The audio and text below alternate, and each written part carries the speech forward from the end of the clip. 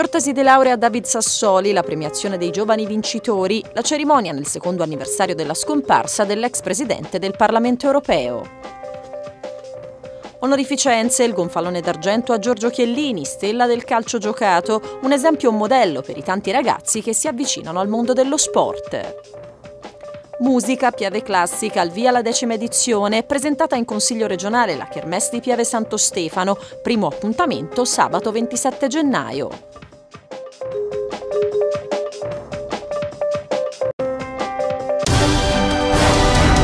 Premio Miglior tesi di laurea David Sassoli.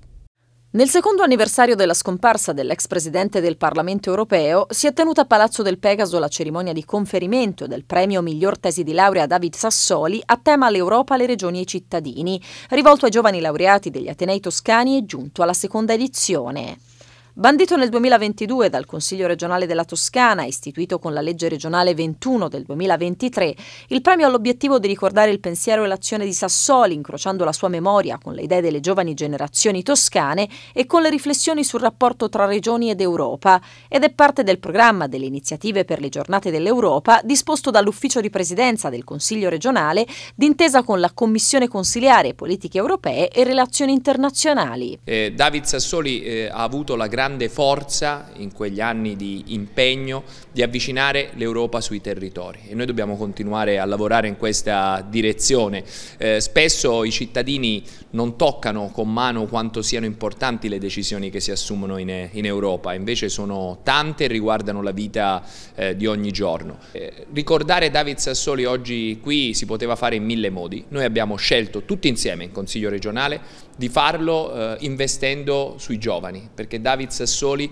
eh, davvero è stato uno tra quegli uomini delle istituzioni che più ha creduto nella necessità di sostenere eh, le ragazze e i ragazzi più giovani. Lo facciamo premiando le migliori tesi di laurea delle nostre università, ci sono dei lavori davvero incredibili che possono servire anche a noi nel nostro impegno quotidiano, anche il mio in questi mesi, in questi anni in, in Europa. Eh, I giovani vivranno un'Europa diversa e devono costruirla insieme a noi. È una giornata che unisce elementi diversi, emozioni anche contrastanti perché c'è il dolore per eh, il ricordo di una scomparsa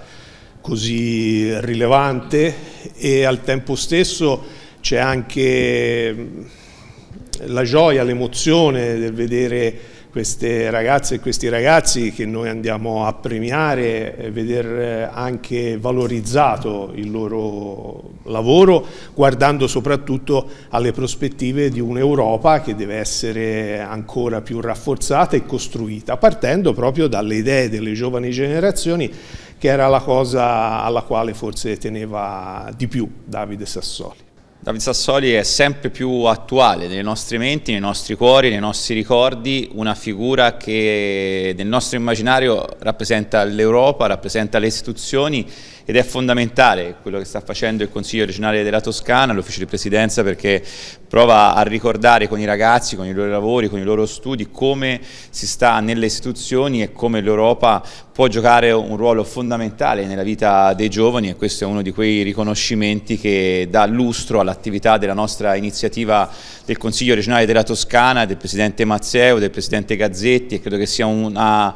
di quelle iniziative dove i ragazzi si riconoscono, quindi è un modo importante per avvicinare i ragazzi all'Europa e l'Europa ai ragazzi della Toscana. Ho guardato in quanto docente ovviamente le tematiche che sono state affrontate e sono varie perché c'è una tesi ad esempio che affronta il problema dei certificati verdi, delle, delle emissioni dei gas serra, c'è la tesi che affronta il controllo degli investimenti stranieri nei paesi dell'Unione Europea, io mi interesso di finanza, è una tesi senz'altro interessante, problemi amministrativi, problemi collegati alle nuove generazioni, alla consultazione che c'è stata l'anno scorso eh, sui giovani. E poi la tesi vincitrice, si può dire, eh, su un problema che eh, noi forse cioè, teniamo spesso sotto il tappeto, il come vengono accolti i profughi e come vivono nei campi profughi, un tema sicuramente da sollevare e da aver presente. Il primo classificato è Jacopo Battisti, laureato all'Università di Firenze, che si è aggiudicato 6.000 euro. Gli altri quattro vincitori si sono classificati secondi ex equo e hanno ricevuto un premio di 3.500 euro. Sono Francesco Bortoletto e Pietro Chiarelli, entrambi laureati all'Università di Firenze, Agnese Clementoni Cherubini e Francesco Genoni, laureati all'Università di Pisa e allievi della Scuola Superiore Sant'Anna. 18 gli elaborati esaminati dalla Commissione, presieduta da Jacopo Cellini, dell'Istituto Universitario Europeo. Sono stati presentati lavori da um, un ampio spettro di prospettive disciplinari, quindi dal diritto alla storia, dalla scienza politica all'architettura. La tesi che ha vinto è una tesi di, di architettura e che mostrano come il, gli studi europei abbiano bisogno del concorso di molti saperi per una migliore comprensione anche del nostro presente. E questi lavori hanno affrontato anche tantissimi argomenti diversi eh, sul funzionamento delle istituzioni europee, sul processo della costruzione europea, sulle politiche interne ed esterne dell'Unione e quindi ci fanno capire anche come l'Unione Europea faccia parte poi del, eh, ci sia bisogno di eh, diverse eh, prospettive accademiche per capirne meglio tutte le angolature. La tesi di Jacopo Battisti si sofferma sull'analisi dell'architettura dei campi rifugiati nell'Unione Europea. È un lavoro di grande respiro, con ricadute importanti, che mette in luce come gli ideali di accoglienza, promossi dalle politiche adottate fino ad oggi nel territorio dell'Unione Europea, non siano mai stati tradotti in linee guida utili per la progettazione delle strutture umanitarie. Il mio lavoro di tesi ha voluto sottolineare quelle che sono le mancanze dal punto di vista progettuale degli spazi umanitari, specialmente ehm, dopo la crisi dei migranti del 2015. Eh, quello che si voleva sottolineare è che l'architettura non è uno come si può dire, uno sfondo passivo nella poi qualità della vita, ma che in realtà rispecchia alcune eh, contraddizioni che ci sono tra gli ideali delle politiche che però non si, non si, poi traducono in delle linee guida utilizzabili per la progettazione di questi spazi. Nel corso della cerimonia, il Presidente della Commissione Europa, Francesco Gazzetti, ha letto il testo della lettera inviata da Alessandra Vittorini Sassoli, moglie dell'ex Presidente del Parlamento Europeo, in occasione della cerimonia. Sarà bello immaginare anche stavolta che la ricorrenza della scomparsa di David Sassoli potrà associarsi ad un'iniziativa così significativa che guarda ai giovani studiosi, ai loro percorsi di studio, alle loro ricerche, all'Europa e al futuro, ha scritto la moglie Alessandra. Il gonfalone d'argento a Giorgio Chiellini. Un esempio modello per tante ragazze e ragazzi che si avvicinano al mondo del calcio, un campione che ha portato il nome della Toscana in alto in Italia e nel mondo, trasmettendo valori come la disciplina, il rispetto, la sana competizione sportiva. Con queste motivazioni il presidente del Consiglio regionale, Antonio Mazzeo, ha consegnato il gonfalone d'argento, la più alta onorificenza dell'Assemblea legislativa toscana, a Giorgio Chiellini, che ha annunciato il ritiro dal calcio giocato il 12 dicembre scorso. La cerimonia si è svolta nella sala delle cerimonie del comune di Livorno, città in cui lo sportivo è cresciuto calcisticamente. Chiellini, da capitano della nazionale italiana, ha contribuito alla conquista del campionato europeo 2021, oltre ai nove scudetti vinti con la maglia della Juventus. Il riconoscimento è stato deciso dall'ufficio di presidenza. Giorgio Chiellini è un esempio, è un modello fuori e in campo, è stato il capitano della nostra nazionale, stato, ha iniziato a giocare a Livorno, poi a Firenze, e infine per tanti anni nella Juventus. È un esempio per tante ragazze e tanti ragazzi che si avvicinano allo sport, è stato un eh, grande campione che ha portato il nome eh, della Toscana in alto in Italia e nel mondo e alla fine di una carriera così importante direi unica, eh, con la coppa alzata a Wembley e noi abbiamo voluto dargli questo riconoscimento per ringraziarlo e per chiedergli di continuare a portare in alto il nome della Toscana nel mondo. Chiellini ha annunciato martedì 12 dicembre ritiro dal calcio giocato, chiudendo la carriera negli Stati Uniti con i Los Angeles FC. Cresciuto nel Livorno, con cui ha vinto il campionato di Serie C, ha legato la sua carriera alla maglia della Juventus, con cui da bandiera e capitano ha conquistato il record dei nove scudetti consecutivi, raggiungendo anche due finali di Champions League. Indelebili nel cuore dei tifosi della nazionale, le immagini del trionfo all'ultima edizione degli europei vinta dall'Italia a Wembley nel 2021, culmine di una carriera da 117 presenze in nazionale. Io sono sempre stato tanto orgoglioso di essere toscano e e quindi è un premio che, che, fa tanto piacere. Mi sento di aver comunque portato la, la, la mia toscanità sempre in giro con me in tutto il mondo in, in questi anni. Ho avuto la fortuna anche di